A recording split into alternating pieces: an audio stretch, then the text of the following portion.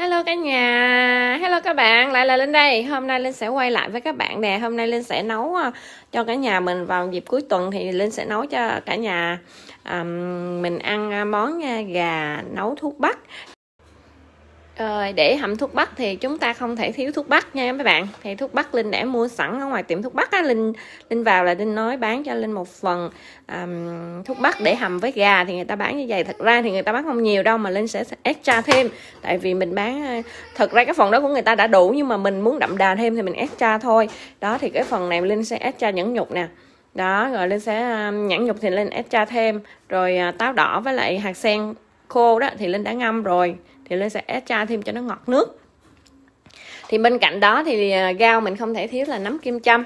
À, rồi à, nấm đùi gà rồi à, cải thìa. Rồi một hồi mình sẽ thêm một ít cải thảo nữa cho nó ngọt nhưng mà cải thảo linh sẽ để vô cho hầm cho nước dùng. Đó thì bây giờ linh sẽ tiến hành xả đông con gà này nha mấy bạn. Ok linh sẽ xả xả đông à, xả đông con gà này khoảng à, 3 tiếng. Rồi sau chúng ta bắt đầu sơ chế và làm rồi mình sẽ bắt ờ, trong khi mình đợi xả đông gà thì mình sẽ hầm cái nước dùng trước. Thì linh sẽ cho một cái nồi như vậy thì khoảng 3 lít nước nha các bạn. Xong rồi á, thì linh sẽ rửa. Linh sẽ rửa sơ cái phần thuốc bắc rồi linh cho vào để linh ninh. Linh ninh cho nó nước thuốc bắc này nó mềm ra rồi sau đó thì ờ, ừ, mình nêm nếm cho vừa vị ăn rồi gà mình chặt. Thì khi nào mình dùng thì mình sẽ bắt lẩu lên và mình sẽ uh, cho gà vào ok mình tiến hành cho à, thuốc bắc nè. Mình rửa sơ vào. Vào nồi. Đó. cái này à, chắc người ta làm người ta đóng gói thì cũng sạch rồi nhưng mà tại mình muốn làm cho nó kỹ thì mình rửa lại trước khi nấu. Rồi mình cho luôn hỗn hợp mình mình vừa ngâm hồi nãy đấy là à, à, táo với lại hạt sen. Rồi mình cho vào ngâm. Rồi sau đó thì mình sẽ gọt củ sen và mình cho vào ngâm tiếp à, mình thấy cái nồi chất lượng ha. Ở nhà mình ăn thì mình nấu cho nó đậm đà chút. Nhiều khi à, nhà hay ăn à, cái này mà ăn ngoài à, nhà hàng á nhà hàng thì à, người ta nấu cũng cũng ngon. Nhưng mà cái chỗ mình cả nhà hay ăn á thì bây giờ cái chú đó dời đi chỗ khác rồi không ăn được. Không còn à, không còn ai bán thấy ngon hết thì tự nấu. Thơm quá à hạt sen ngâm thơm dễ sợ. Ok mình bắt bếp lên. Mình hầm lửa nhỏ vừa phải đây ha. Mình để đây mình bắt đầu mình nấu. Quá trời thơm luôn các bạn. Siêu ngon. Nhìn cái nước nó ngon không? Đây là à, mình để nè phần thuốc bắc nè phần táo à, ngâm extra thêm nè phần hạt sen extra nè nhẫn nhục nè rồi um, củ sen tươi nè. Đó thì mình sẽ ninh trong vòng khoảng 3 đến 4 tiếng nha. Ok bao ngọt bao thơm. Wow, các bạn thấy đang sôi không? Really, really yummy luôn nha. Thơm cực kỳ luôn mấy bạn ơi. Cái mùi này thơm, rất là dễ chịu luôn. Là mình extra thêm táo với lại sen á với lại nhãn á, mình hầm lên rất là thơm. Các bạn nên khi nào mình làm nước dùng á mình nên ép cha thêm một miếng ít thôi không cần phải nhiều đâu. Nhưng mà rất cái mùi rất là thơm và đậm đà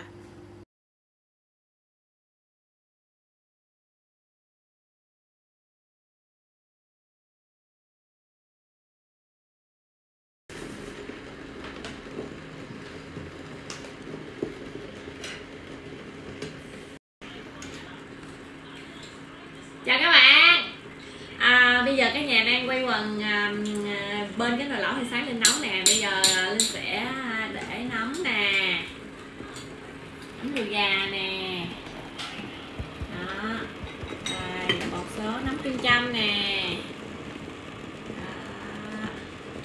rồi đợi soi chút xíu nữa rồi mình để ra vô. Rồi mời cả nhà cùng dùng lẩu của mình nha. Thì uh, rồi bắt đầu linh dùng là linh sẽ review cho mấy bạn nha. Trời thơm lắm. Với nấm rau. Bánh với nhồi Thêm một miếng à, táo nè. Ừ. Miếng nấm đùi gà nè. Review đủ đủ đủ vị với mấy bạn mới được chứ. Ok. Rồi Có miếng gan nữa. Nãy có mua thêm. Thêm miếng nước nha. Ừ. Thì mấy bạn thấy không? Không kỹ tử rồi đủ thứ. Ok. Ừ, ừ, nè. Ừ. hút thêm miếng nước nha. Lại chưa oh shit, ngon. À perfect luôn. Mời cả nhà. Miếng da gà nè. Gà ở bên đây không có ngon bằng gà Việt Nam mình nhưng mà ăn cũng ok lắm. Bự lắm. Ừ nha gà nha cũng sực sực cho nó đã nấu gà chạy bọ bộ. Chính ra đẹp rồi. Gà chạy bộ nó xích đi mày chín làm con. Ừ. ừ ăn miếng da gà ngon. Ăn nhiều quá má má bị mỡ. Bởi vậy người ta nói hạn chế ăn bớt đi ăn ăn ngon nhiều quá mập. Quá ngon nói chung á, cái thuốc bắc thì mình không có nêm nhiều. Mình chỉ thêm một ừ, ít ờ, một nêm, một muỗng đường với lại một muỗng nước mắm là thôi. Còn nhiêu là cái chất ngọt nó ra với gà ra nữa. Ra củ ngon lắm. Ăn mình tương đối cũng phát có xe. Ừ có xe cũng mềm lắm. Ngon.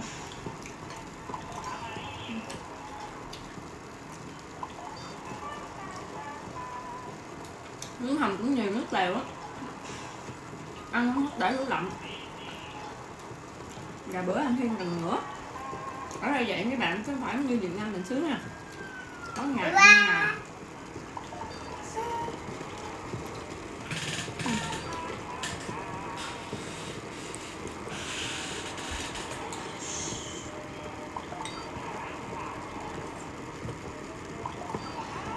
Đậm. Thiệt luôn không Đau quá nhức nách nhức nách kéo nách lên khép lại nhức nách nắm đùi gà thắng nè. Giỏi. Ừ. Giỏi bắt cái mối vậy giỏi. Nè giỏi bắt cho coi thắng giỏi nè. Nước nóng nè.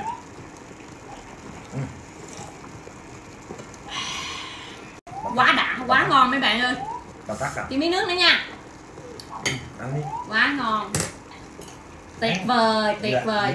mùa đông nấu um, ăn cái này nhiều cũng không cái này ăn nhiều bị viêm bằng túi á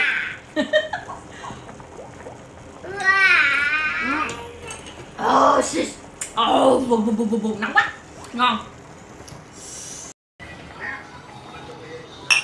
mời mấy bạn. Vô với Linh nha. Uống miếng rượu đỏ. Với cái con uh, uh, trà lý nó ghiền rượu, con trà lý nó ghiền rượu bởi vậy phải tập uống. các bạn nhìn là lẩu kẹt hết sạch rồi đó.